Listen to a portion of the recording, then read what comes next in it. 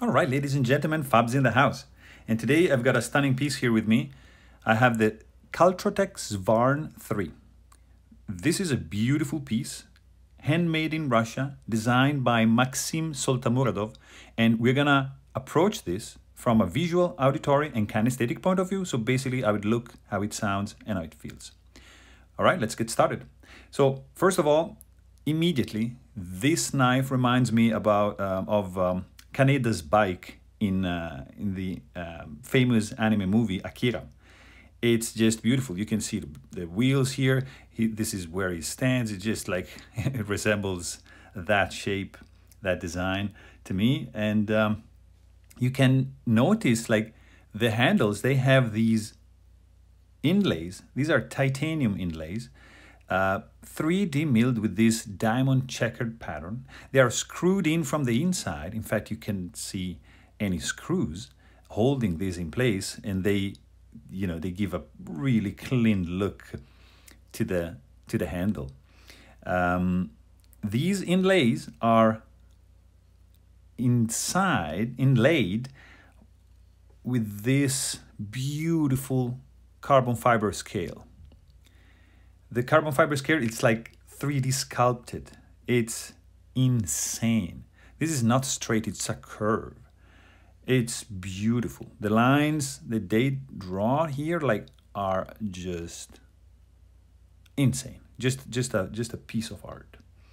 Uh, you can see that these screws this is the pocket clip and the uh, the pivot clip and pocket clip screws are proprietary. Uh, Cultrotech gives you this tool. Um, you know, there's one size for the pivot screw here, another size for, you know, the, the screws in the back. So it's a, it's a really nice thing.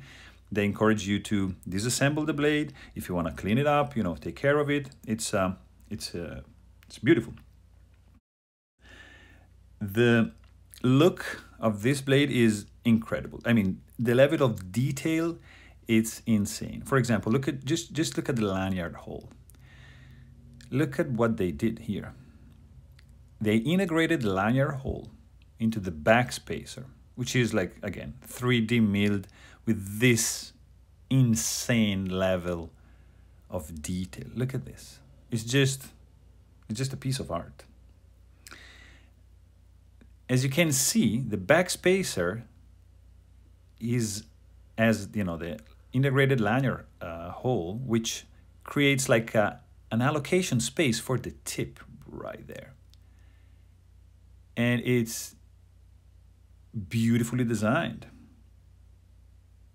Very, very nice. The jimping on the back spacer, it's, it's beautiful. It's just, look at this. You see? A common element on this side over here, a little bit on the flipper tab, you know, subtle jimping, even the flipper tab, it's 3D machined. Look at that. They didn't leave anything to the chance. They really thought at like every single corner, every single little detail was like well thought. Um, I mean, this flipper tab would make Nick Shabazz pretty happy. I mean, look at this. It, it it's like almost invisible. It, it's beautiful. Um, every look at look at the handles here have all the edges beautifully machined. So like here, here, here. There's no sharp corners like left out. Beautiful, beautiful job. And they managed to do all this, keeping extremely tight tolerances. I mean, if you check here, you cannot. Uh, I mean, I don't know. I'm not sure if a hair would fit between the blade and the liners. I don't know. Like a piece of paper can't fit 100%.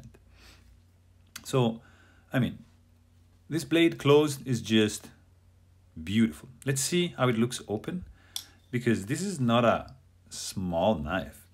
This is a four inch blade, but the blade handle ratio, it's incredible. So it gives a overall well-balanced look. You have this one line continues here, which breaks down just here with a beautiful curve. It's incredible. I mean, the, the, the blade, it's superb as a beautiful design. Nice drop point, stone washed, beautiful belly, a flat here. The I mean the, the stock is pretty thin. Behind the edge, the, the edge it's ridiculously thin.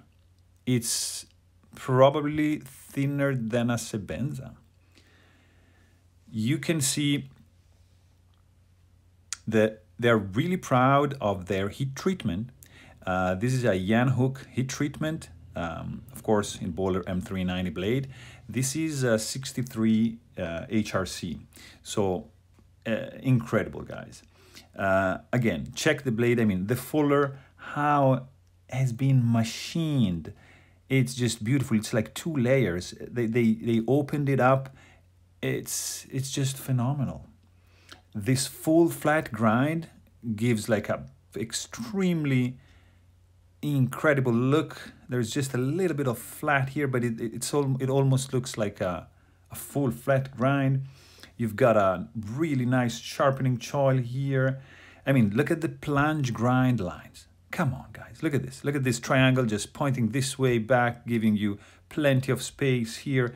It's really well thought, well designed. I mean, they, they put a lot of work uh, in, into this blade for sure. Um, this is, I wouldn't consider this like a jimping because there's like, you know, really almost no traction, but it's a, again, nice design element that's being reprised like all around the blade. So, you know, it just gives a, an astounding look, I think. And um, yeah, it's, uh, I mean, the blade here is beautifully crowned.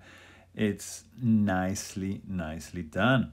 The only thing um, with this knife is that has just a little bit early lockup. I mean, not a huge deal and nothing unsafe. That's the only thing uh, that you can, you know, say about this one. If you check on the inside, has the, the liners have been heavily skeletonized to reduce the weight. In fact, this is a, oh, really, it's a big knife, but it's a very lightweight one. Another aspect that I'm really in love with is the symmetry. Uh, this side is the same almost as this side except for the pocket clip. So they kept the design of the inlay here to give a less distraction, you know, to give less distraction to the look.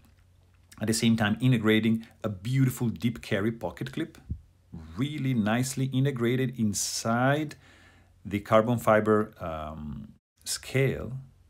Beautiful job right here. And overall, the symmetry is maintained, you see, on both sides. So it's uh, awesome. Really, really great job. Um, all right, let's uh, let's hear some sound because this has a really peculiar uh, sound when it when you deploy the blade. Um, this has a uh, I don't know if you can see from here. So this knife has no detent ball hole. So the detent ball right there just sits outside the blade. Right there. So when you open the blade, it's absolutely silent. It just you have just the detent ball here making this little noise and then just locking up. It's almost silent, but if, when you flip it, you hear this hydraulic piston sound. It's like, I don't know, a, a robot arm moving. Hear this. You hear that? And then it locks. I mean, this sound is, is just beautiful. It's, I, I, I never heard of this one. Here again.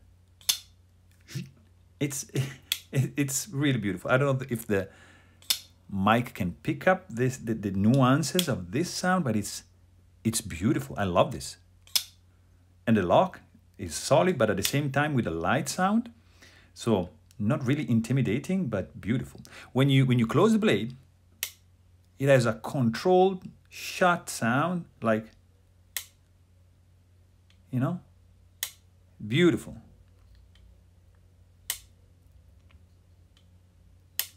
It's a little dampened, dampened, light, but it's pleasant. It's like a, like a, you know, a car door closing almost. So really, really pleasant sounds overall. And um, yeah, let's let, let's uh, approach a little bit the kinesthetic aspect of this one because the feeling when you hold this blade is just perfect. The ergos are incredibly well done. I mean, fits in my hand perfectly. There's no hot spots whatsoever from the pocket clip. It's very, very low profile, superbly designed. I really, really like that. There's a, you know, jimping here. It's not really giving you any traction, I would say. I think it's just like a design element, like for decoration almost, but maybe from the side, but not really. Um, great jimping here to disengage the lock. You have an amazing amount of traction here, so it's gonna be very, very easy, easy to uh, disengage the lock. Um, you have like, I would say three, four ways to deploy this, the blade. Of course, you can uh, push button, open. You can do like a light switch, all right? Kind of like, you know, light switch. You can do like a thumb flick, flick like this, or like spidey flick, but it's kind of like awkward sometimes. Yeah, you see. So you have, let's say, three, four ways to deploy the blade. So fidget factor, it's there, especially because this is lightweight, really, really light. And, uh, you know, you have no blade play, all right? There's nothing, nothing moves. It's just uh, gives you like a extremely solid feel in your hand. Uh, you know, every corner, every, you know, every point is chamfer, contour, 3D machine. I mean, the touch feel you get from holding this knife is smooth. Even if it looks like, you know, full of sharp corners, it's not. It's extremely smooth in the hand. So, uh, you know, if you fidget with it, your fingers are not gonna get tired or not gonna you know hurt because it's rounded all the way around even if it has some let's say sharp corners but they're not. So really beautiful. The the action of this one is just insane. I mean look at this. This is a knife running on washers. It's not on bearings. This is smoother than many knives on bearings. Uh, I mean, opening action is insane. Look at the closing action. This is butter smooth. And again, this is on washer, guys. Look at this. This is the smoothest washer uh, knife running on washers I have ever owned and it's just beautiful. Uh, the washers here are designed with um, small pockets to hold the lube uh, inside of them and uh, you know they confer like this glide glassy glide kind of feel to the blade that I've never I've never felt anything like that on any other knife, guys. This is ridiculous. The fidget level of this one, it's insane. You can just flip it open and just, you know, close it like this, open, close, open, close.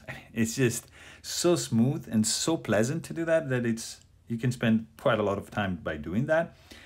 And again, your fingers are not gonna get sore because every corner has been really well rounded. I mean, guys, look at this. I think this is uh, Somebody will hate me for, for saying this, but I think this is better than Shirogorov. And, uh, you know, it's the first brand that comes to my mind, like being Russians, uh, you know, both Russians, but it's just a beautiful thing to play with. And uh, you're to be pleasantly surprised uh, to own this one, to handle this one, because it's, uh, it's truly a beautiful piece of art and a beautiful knife. So there you have it. Hope you guys enjoyed my video. Thanks for watching and stay tuned.